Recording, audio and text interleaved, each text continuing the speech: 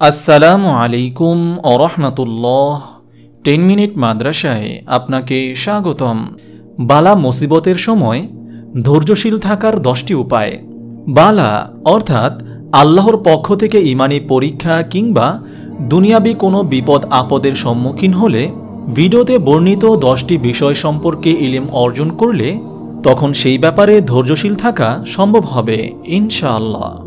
তা হল নম্বর এক, দুঃখ কষ্টের সময় মুমিন বান্দা যদি তকদির বা আল্লাহর সিদ্ধান্তের ব্যাপারে সবুর করে, তাহলে এর বিনিময়ে সে বেহিসাব সওয়াব বা পুরস্কার পাবে। এই জ্ঞান যার থাকবে, দুঃখ কষ্টের সময় তার জন্য সবুর করা সহজ হবে ওই ব্যক্তির তুলনায়। যে জানে না যে সবুরের বিনিময়ে কি অকল্পনীয় প্রতিদান নির্ধারিত রয়েছে।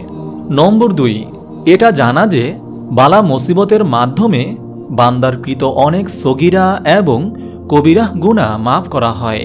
নম্বর তিন, এই বিশ্বাস রাখা যে বান্দার ওপর আপতিত সমস্ত ভালো ও মন্দ আল্লাহর লিখিত তাকদির অনুপাতে হয়ে থাকে। কোনো কিছুই আল্লাহর ইচ্ছার বাইরে সংগঠিত হয় না। সুতরাং বান্দা যখন জানবে যে সুখ ও দুঃখ সমস্ত কিছু আল্লাহর নিয়ন্ত্রণে, তখন সে আল্লাহর ইচ্ছার ব্যাপারে ধৈর্য ধারণ করবে। নম্বর চার, কোনো মানুষ যদি বিপদে পড়ে, আর তার ওপর আল্লাহর কি অধিকার রয়েছে সে ব্যাপারে সাম্যক অবগত থাকে, তাহলে খারাপ সময়েও সে আল্লাহকে ভুলে যাবে না। বরং কষ্টের সময়ও আল্লাহর আদেশ নিষেধ মেনে চলার জন্য আন্তরিকভাবে চেষ্টা করবে।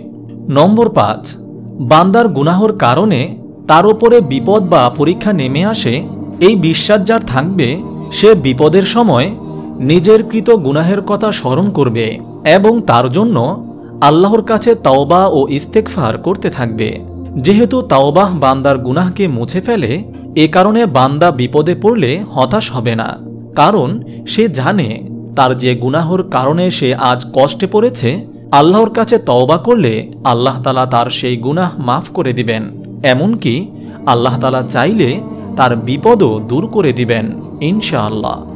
নম্বর ছয়, বান্দার ওপরে যে বালা মুসিবত আসে, সেই ব্যাপারে আল্লাহ তালা ইচ্ছা করেছেন এবং বান্দার এই অবস্থার উপর আল্লাহ তালা সন্তুষ্ট রয়েছেন। কেননা, বালা মুসিবতের দ্বারা আল্লাহর ইচ্ছা বান্দাকে সংশোধন করা।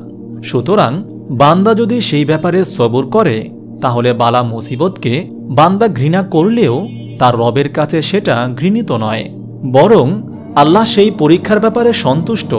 যেহেতু এর দ্বারা বান্দার গুণা মাফ হয়, আল্লাহর কাছে তার মর্যাদা বৃদ্ধি পায়।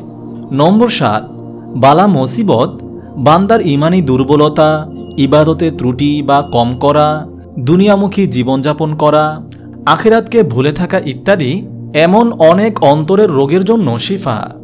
নম্বর আট, এই বিশ্বাস রাখা যে বালা মুসিবতের সম্মুখীন হলে আর সবুর করলে সেই বালা মুসিবত বান্দার জন্য দুনিয়া ও আখরাতের অনেক কল্যাণ বয়ে আনে। নম্বর নয়, বালা মুসিবত বান্দাকে ধ্বংস করার জন্য আসে না, বরং কে সত্যবাদী আর কে ধৈর্যশীল তা পরীক্ষার জন্য আসে। সুতরাং বালা মুসিবতে পতিত হলে সেই সময়কে আল্লাহর কাছে নিজের ইমানকে প্রমাণ দেওয়ার জন্য একটা সুযোগ হিসেবে গ্রহণ করতে হবে।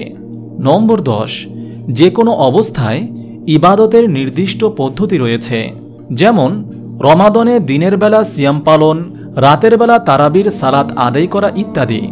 সুতরাং বালা মুসিবতের সময় যখন যেই ইবাদত, তা পালনে আরও যত্নশীল হলে মনের দুঃখ, কষ্ট বা হতাশার পরিবর্তে ইবাদতের মাধ্যমে প্রশান্তি অর্জন করা সম্ভব। মহান আল্লাহ তালা আমাদের সবাইকে বালা মুসিবতের সময় ধৈর্যশীল হওয়ার তৌফিক দান করুন। আমিন। আপনি যদি এরকম ভিডিও আরও পেতে চান তাহলে এই চ্যানেলটি সাবস্ক্রাইব করে পাশে রাখা বেল আইকনটি অন করে দিন।